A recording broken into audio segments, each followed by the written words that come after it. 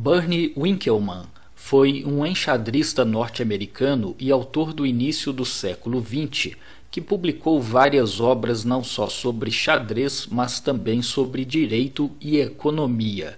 Embora nunca tenha conseguido um grande reconhecimento, seja como jogador, seja como escritor, ele nos deixou esta pequena obra de arte em 14 lances.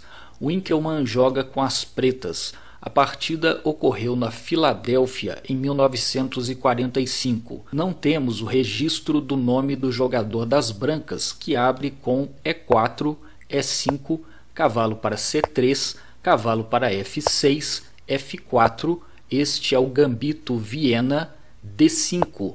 As brancas tomam em E5, cavalo toma em E4 e as pretas têm a ameaça de dama para H4. Por isso, o primeiro jogador responde com dama para F3, cavalo para C6, bispo para B5, bispo para C5, tentando colocar pressão no ponto F2, mas as brancas realizam uma troca de cavalos em E4 e ganham um peão de vantagem como resultado, além da dama muito bem posicionada no centro do tabuleiro. As pretas fazem o roque menor, cavalo para E2, torre para E8, perigosamente alinhando a torre com a dama e o rei adversários. Reparem como esta torre, controlando a coluna E, vai ser decisiva no desfecho da partida. As brancas seguem, tomando o cavalo de C6 com o bispo. As pretas retomam com o peão e a dama branca toma o peão em C6.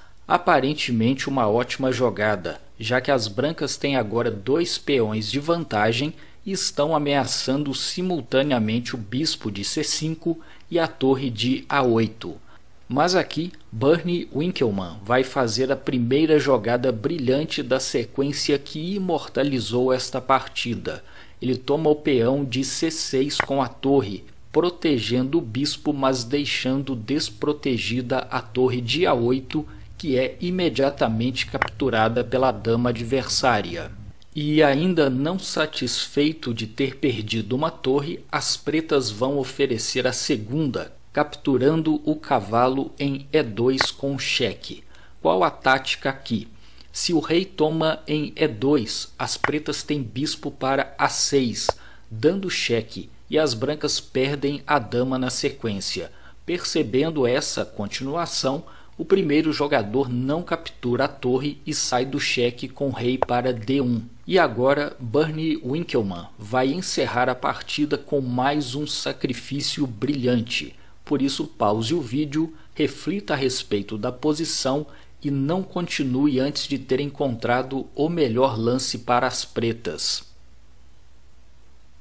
Aqui as pretas jogaram o fantástico bispo para G4 deixando a própria dama desprotegida e, o que é pior, ao tomar a dama, as brancas dão cheque e a sequência termina com o surpreendente torre para E8. A torre bloqueia o cheque da dama e simultaneamente bloqueia a fuga do rei adversário que leva mate pelo ataque descoberto do bispo posicionado em G4 no lance anterior um exemplo histórico de jogada que combina ataque e defesa no único lance.